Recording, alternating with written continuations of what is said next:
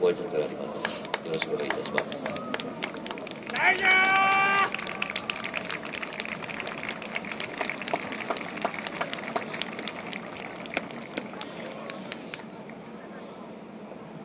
2023シーズンまずは応援いただきまして誠にありがとうございます。残り試合残っております。今日ポイント3を取ることだけを考えてこの挨拶それ以外のことを何も考えておりません。ただただ悔しいです。監督選手個人スタッフ精一杯1年間戦ってくれていると思います。ただそれでもこの結果はしっかりとクラブとして受け止めます。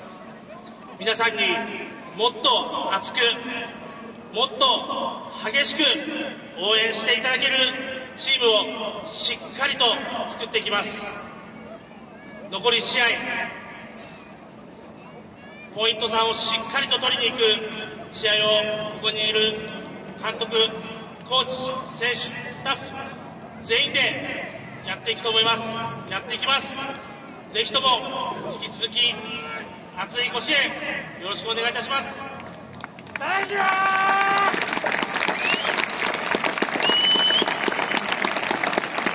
りがとうございました。続きまして山田修平監督よろしくお願いいたします。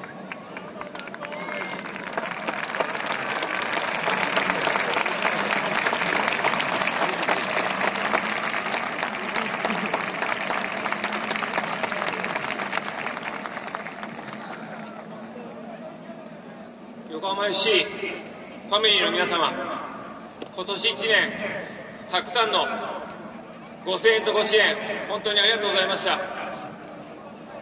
本日はこの日発を多くのサポーターの皆様が埋めてくださり素晴らしい雰囲気で私もピッチに入った瞬間感動して鳥肌が立ちました。しかしながら結果の方は敗戦ということで大変申し訳ない結果に終わりました。選手は苦しい中必死にチームのために戦ってくれました。スタッフも最高のサポートをしてくれましたが私の力不足です。目標とする J1 残留は厳しい状況となりましたが残り1試合横浜 FC としての意地とプライドを持って鹿島アントラーズと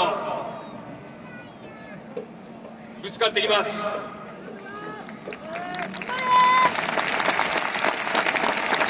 年1年チームがサッカーに集中し素晴らしい環境でやってこれたのもスポンサー企業の皆様のたくさんのご支援ご支援のおかげだと感謝しています。